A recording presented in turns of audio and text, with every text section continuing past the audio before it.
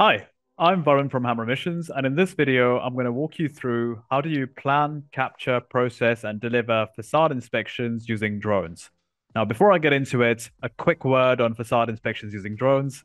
As some of you might already know, facade inspections using drones are becoming increasingly popular.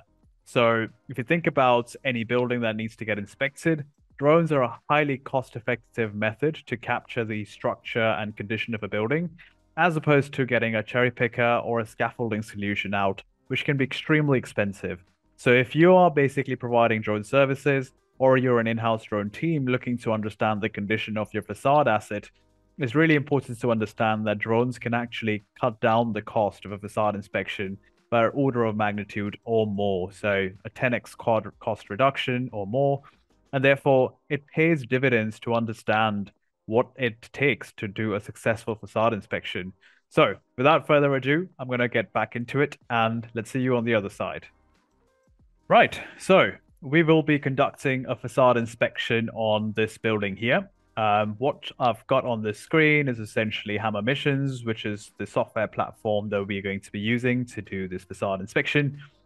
And the way the process works is that I'm going to first of all start by creating a mission file. So I'm going to go into Hammer Missions and I'm going to create a folder uh, and let's call it facade jobs. And I'm going to start by essentially uh, adding in a new mission file. So I'm going to go in and I'm going to say a new mission file. And let's say this is going to be a facade mission. And it's, it's uh, let's say we, we name it after the building. So the Winston Tower is what we're going to be capturing today. Um, so if I open the file, I should be taken to essentially uh, the map. Uh, this particular building that we'll be capturing is actually located in um, in the states, um, close to the beach. And what we we are going to be doing is we're going to take our map and we're going to navigate to the right location. So it seems like we already have the location coordinates that we want to navigate. Um, so just going to bump those in there and we can zoom in to see our building uh, in in res in high resolution. But obviously, because it's Google Maps, the building is flat, uh, which doesn't really help us when we want to do a facade inspection. And that's the whole point of using drones, so that we can do this inspection in not just 2D but also 3D, fly vertically, and capture all that data. Right. So the inspection is due for this particular side of the building. So this particular facade. And so what we'll have to plan is how do we fly vertically and, and reconstruct this particular facade in 3D. To do that, I'm going to start by looking at the missions menu and I'm going to go in and I'm going to choose uh, my facade inspection option or the facade mapping option. Now, the difference between the facade mapping and the facade inspection options is that in the facade mapping option, your drone will fly continuously using hammer missions and take images at every single point, it wouldn't necessarily stop. Um, and with facade inspection, the drone will stop and take images. So if you're really looking for very crystal clear images at every single point, and you want to make sure you get the highest detail possible, then we would recommend the facade inspection option. But facade mapping is what we're going to go for today because we want efficiency and we want to collect the data. And we also want to be able to stitch all that data into a 3D model at the very end of this video. So uh, what I'm going to do is I'm going to select the facade mapping option and Hammer asks me to essentially draw a line along the facade structure or the edge and then click OK or press enter. Right, so this is the edge of the building that I wish to capture. So I'm going to drop a point near the edge and I'm going to drop another point at the other edge and I'm going to hit enter. Okay, once I've done that, a default flight plan will be created for me so I can see these blue points which basically represent the points in which the drone will be flying.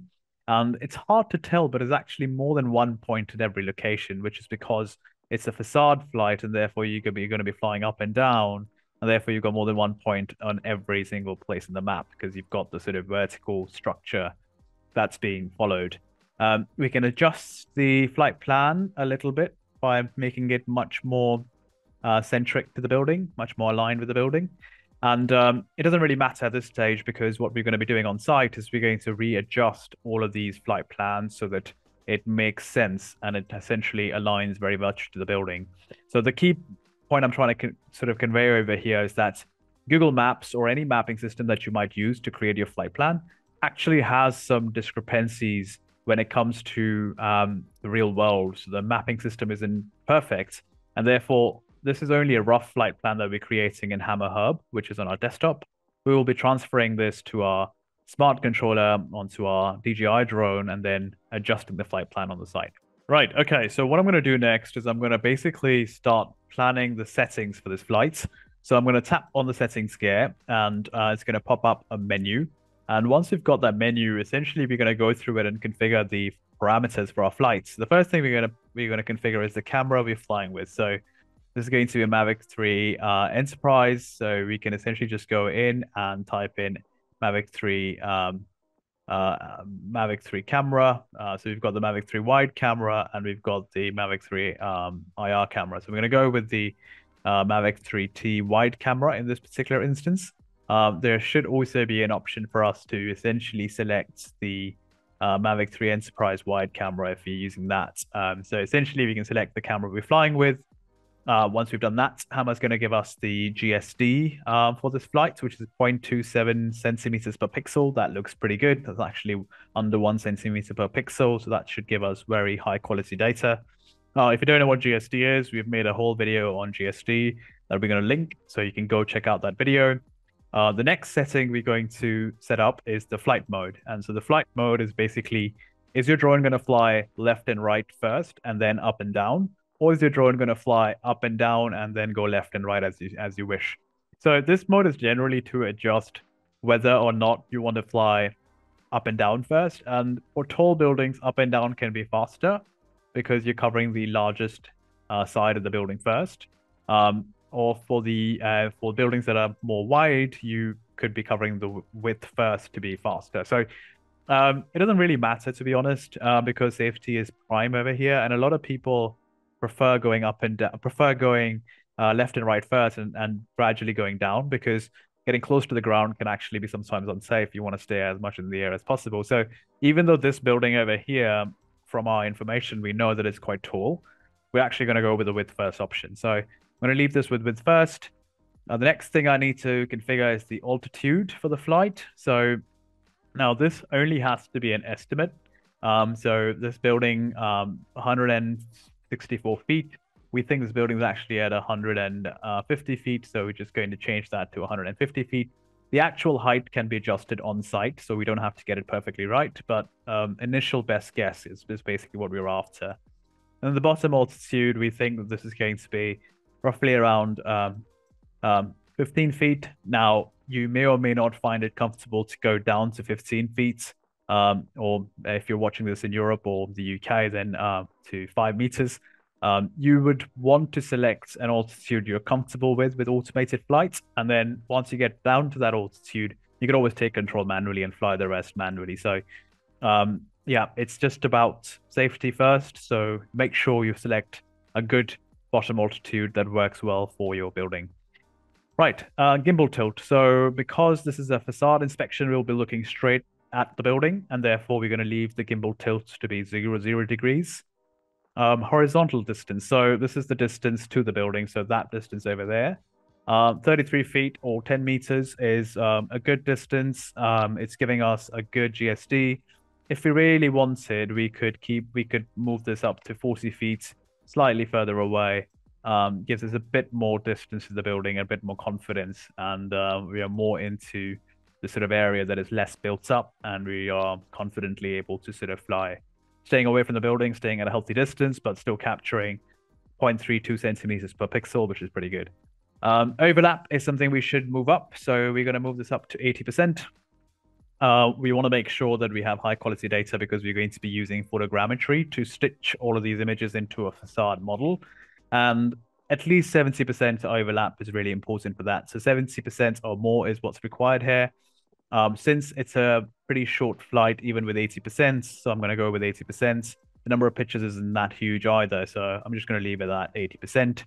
Um, and what's going to happen is that with all of those parameters, Hammer's is, Hammer Missions is essentially going to give me my my um, flight speed, the optimal flight speed, which is essentially calculated using all of these different parameters.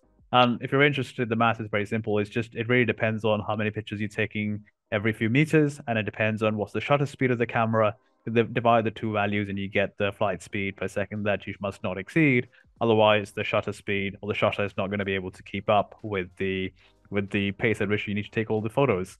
So um, it's going to calculate that for us. If we try to exceed the limit, it's going to ask us to use op- optimal flight speed.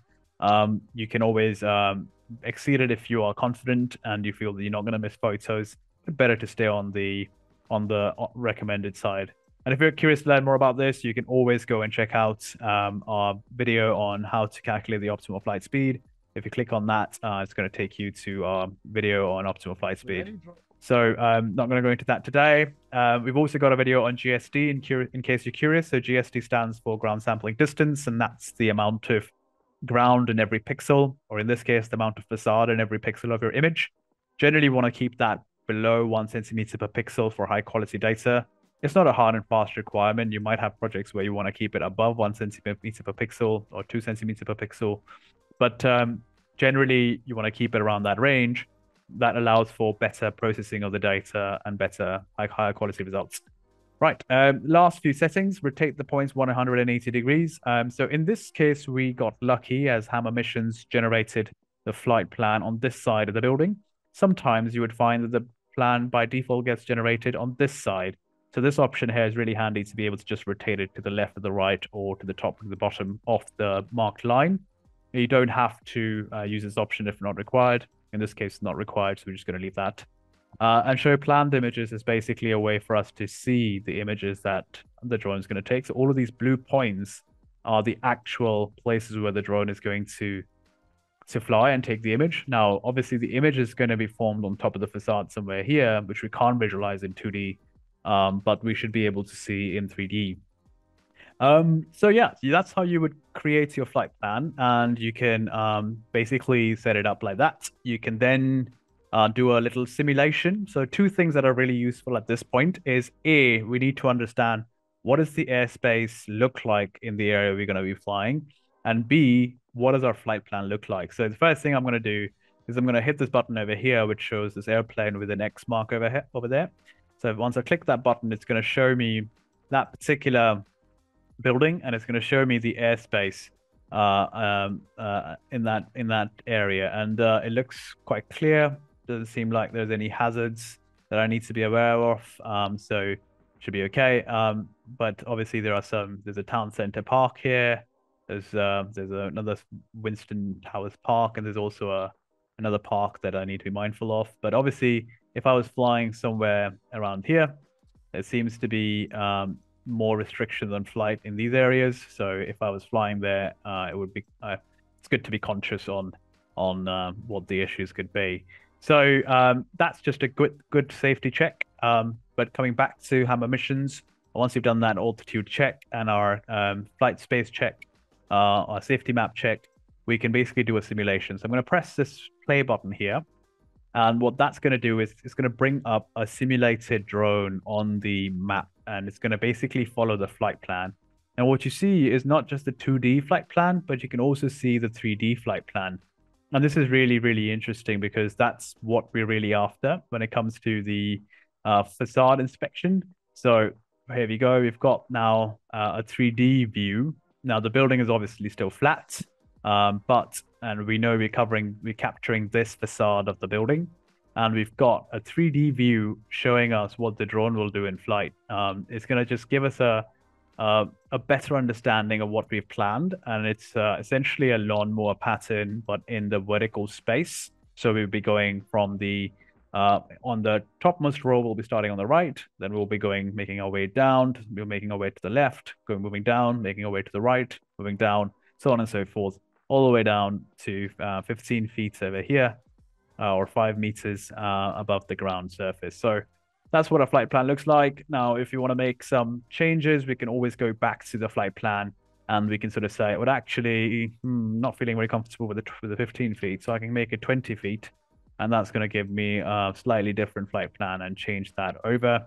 Uh, or maybe I want to go top and down or height first, so I can change that flight plan and uh, I can go up and down instead. Now, um, I don't know about you, but I prefer staying away from the ground as much as possible and not coming up and down so much. even though it might lead to a slightly more efficient plan when it comes to um, the width first mode. So you can always change these parameters.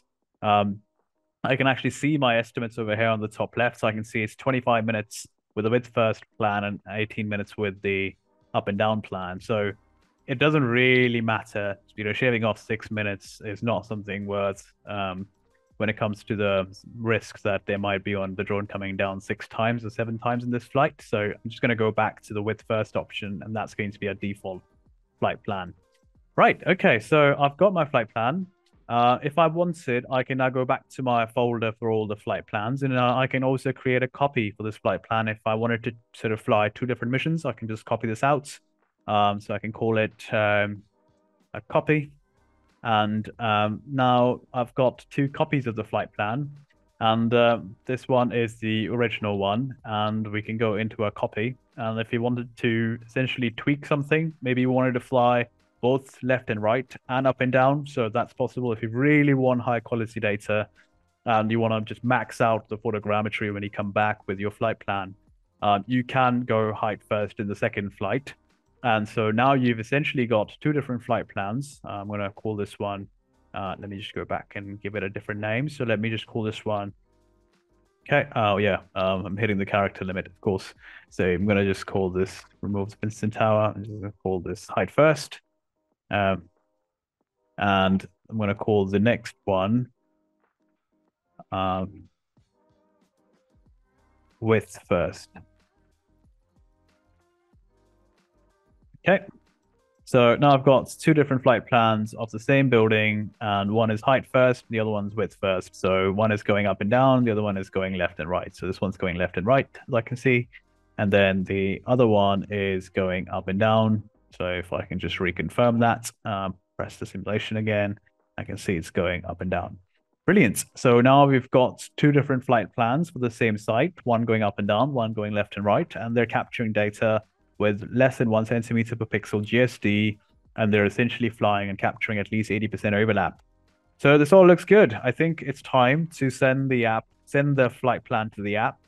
To do that, um, you can first of all, you can send the flight plans to other team members. So you can basically press the share option and you can just send it out to other team members to sign off, to review, to ensure that you're communicating what your flight plan is.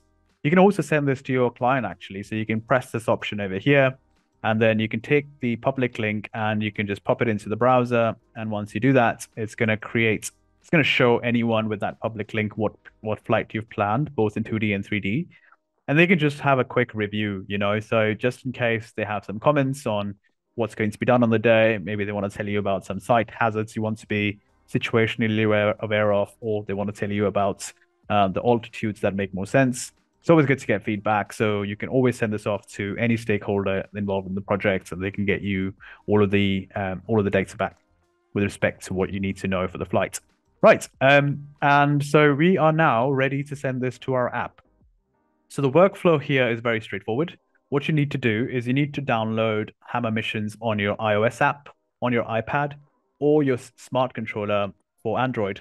And once you've got the app on the iOS, uh, on the iPad, or the smart controller, or your Android device, you can just basically sync your mission from Hammer to your your tablet. And that's actually quite a straightforward workflow. But if I wanted to go through that, um, it's basically uh, it basically works by um, having to basically uh, going to your going to your Android app or iPad, and then essentially um, pulling the mission down from.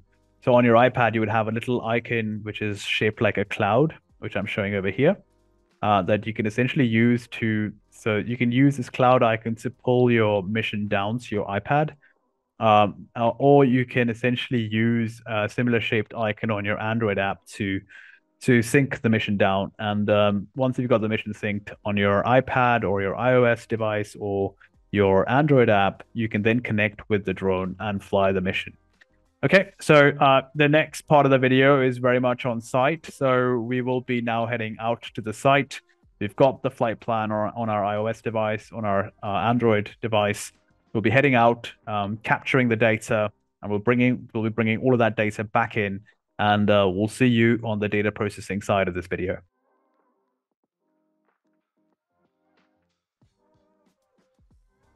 Right. Hello. So we're back. Uh, our mission went well, and we were able to capture um, the facade as expected. Uh, in this particular project, we only did the width first option, even though I went through the height first option. Uh, we thought the images are sufficient to be able to capture all of the data. Um, so what we have here is essentially the data analysis tab. So what we've done, just to give you a quick walkthrough, um, we've essentially created a new project.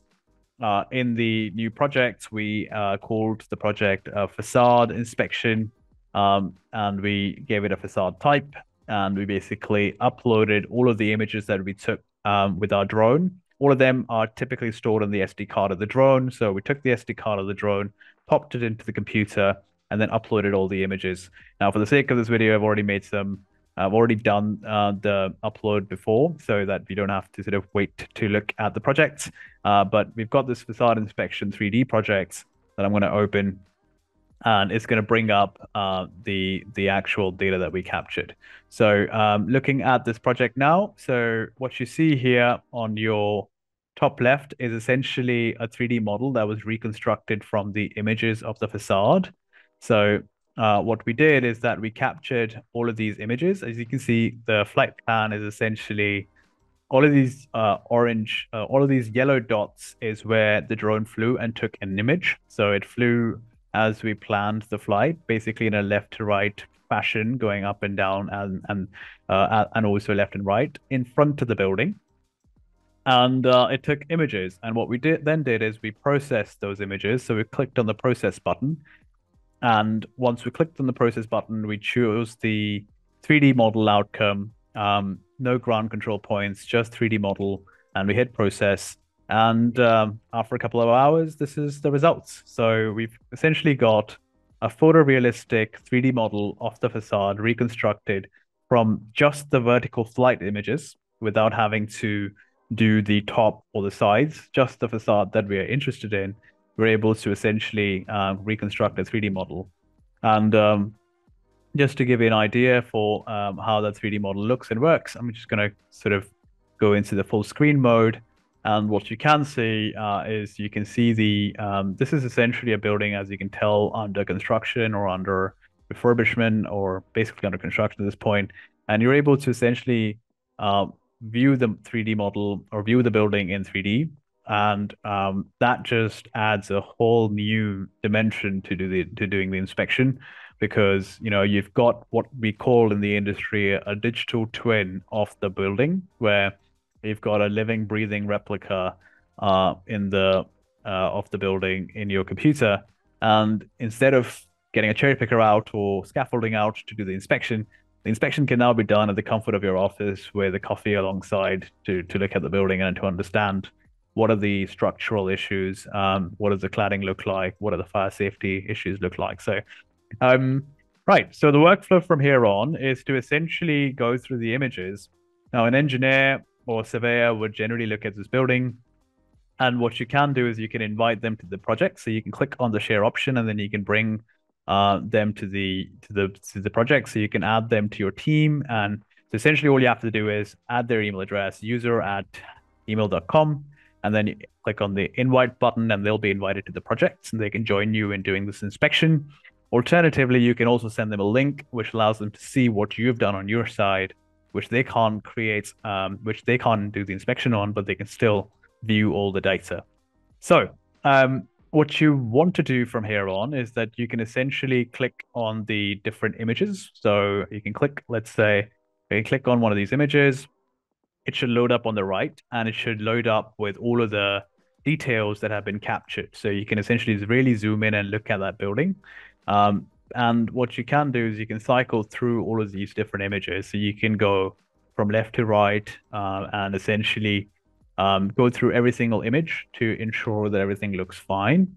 And generally, what happens is you have engineers that look at a building and they might want to point sample the building so, for example, they might go to this particular part of the building and they might find that there's an issue there and they can create annotations. So, using the shift key, you can essentially click and create an annotation and you can sort of say um, a cabling issue, uh, health and safety risk, and you can create that annotation basically um, on that image, and that annotation gets stored on that image. Now, not only can you create the annotation, but you can also essentially mark the severity of it. So by default, it's marked as an orange severity, which might be classified as a mild issue. But if you thought this issue was really severe, you can actually create give it as a severe um, warning, and so essentially it gets marked in red. So if you've got a severe issue, and maybe this is just a missing paint issue, um, which is more mild. And now what happens is that you've got um, those issues not only stored in the image, but you've also got them stored in your map of all the different issues.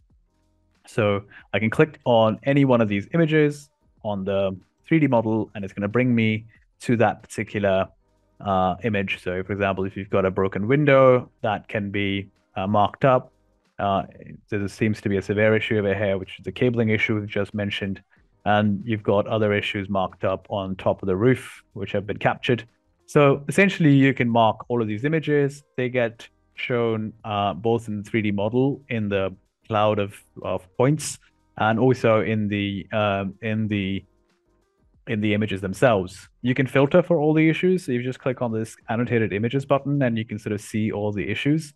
So you can quickly cycle through all those all those images as well. So you can basically have a very quick way to peruse all the issues uh, and sort of say, okay, well, yeah, that's an issue. That's also the issue. I see. Okay. And that's just a quick way for you to be able to document all the issues.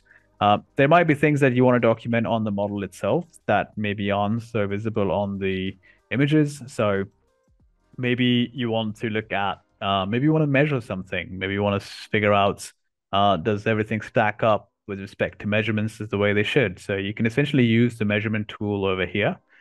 Um, and um, or maybe you can use the area measurement tool uh, to understand okay what is the um, what is the width of this uh, balcony over here um, so you can click uh, and create these dots and then that should give you a length for that particular um, so it seems like it's uh, you've got 1.5 1.5 meters in length when it comes to this particular um, balcony or this particular structure that's sticking out and what you can do is you can leave a comment. So you can leave a comment here and you can sort of say um, um, structural issue with um, balcony.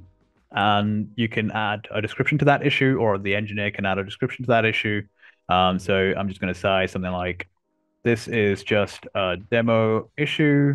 Um, and I'm going to say point A, point B, and point C.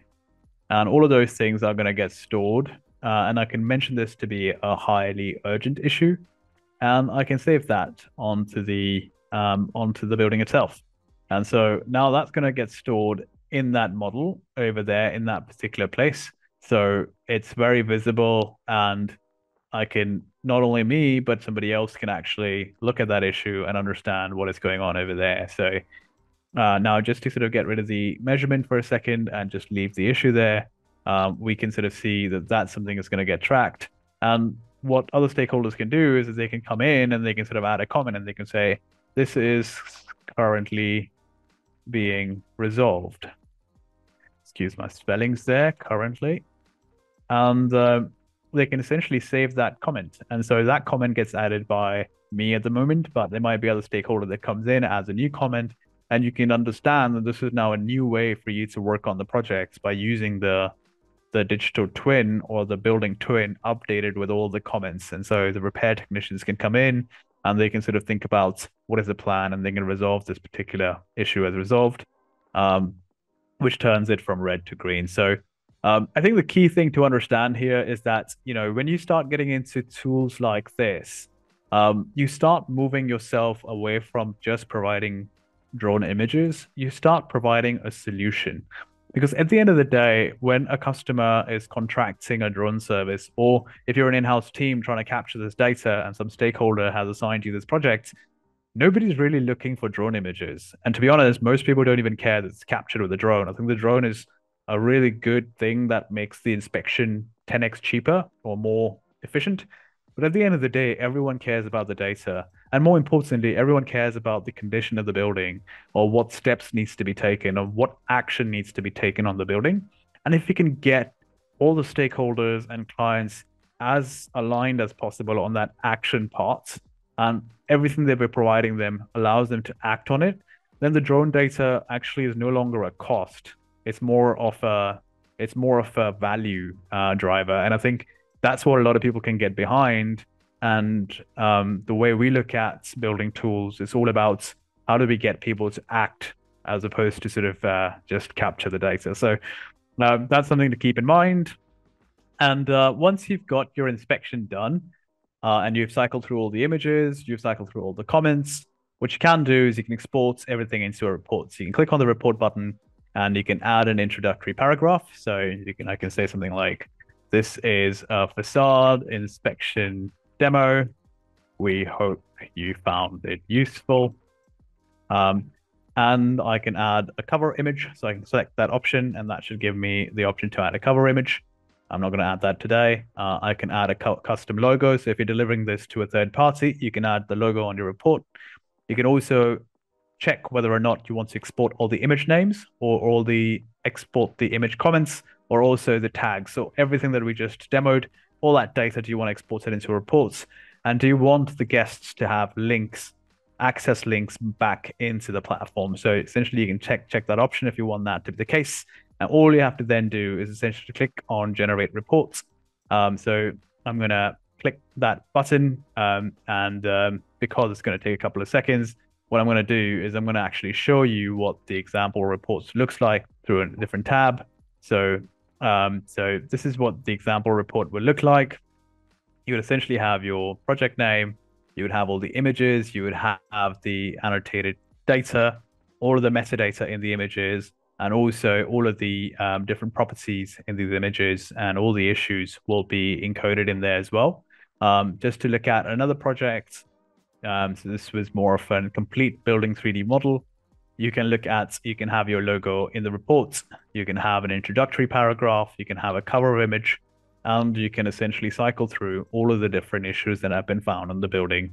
And you can have um, the facade inspection, uh, mention all of these issues so, so that once again your stakeholder or client can actually act on these issues which is what um, what which is what the aim should all of these inspections be. Right okay so um, going back to our platform so you still got our reports being generated. Uh, and whilst that is going on i uh, just want to mention that facade inspections are becoming increasingly popular but at the same time they do require an, an immense amount of skill. So it's important that all of these different workflows, especially on the mission planning and flight automation side, they are executed with a high amounts of precaution and you're ensuring that safety is very much paramount in your operations. Some of the things that we've seen that are quite important is to ensure that you always have GPS if you want to go into a flight that is automated.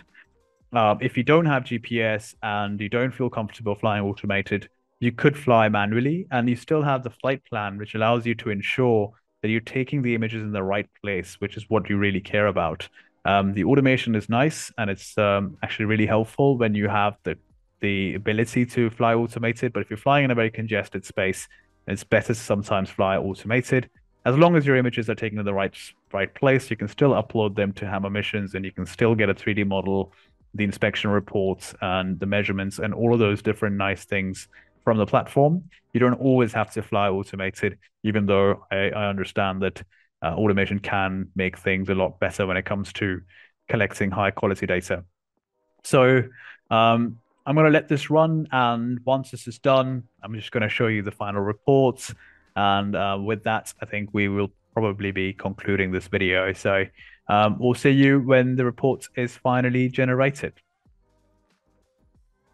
Right. Okay. So, um, and we're back, and the report has been generated. Um, took roughly five minutes, uh, which was good for me to me uh, to refresh myself with a coffee. So, I'm now going to essentially look at that report. Uh, I'm going to bring it up over here, and uh, what we've got here is essentially what uh, we had promised. We've got an introductory paragraph, which is just a single line, and we've got all of the different images for this inspection um, put together in a nice little report Um, and each one of these images has the issue area and also all of the image data exported. And what any stakeholder that's looking at this report can do is that they can always go back to the platform. So they can click on the Open in 3D Web View button, and that should take them straight back to the platform. And it should show essentially the building that you've just captured. It should show that specific image in the report that they clicked on, and they can see the whole platform, even though they're not logged in. They don't need to have their own account. Right. So, um, so that was a job well done. Um, hopefully, we have um, we have been able to walk you through the end-to-end process and how to plan, capture, process, visualize, and deliver your facade inspections using drones. Uh, we hope you found the video really helpful. If you're curious about some of the applications we've been working on with respect to AI-based defect detection or with respect to being able to automatically um, reconstruct um, the, the optimal flight plan from your last 3D building model that you created, uh, feel free to get in touch with us. Uh, we're always available to have a chat at team at hammermissions.com. Hopefully this video was useful. Drop us all your comments in the in the comments box. Uh, thanks so much for watching, and we'll see you in the next end-to-end video at Hammer Missions.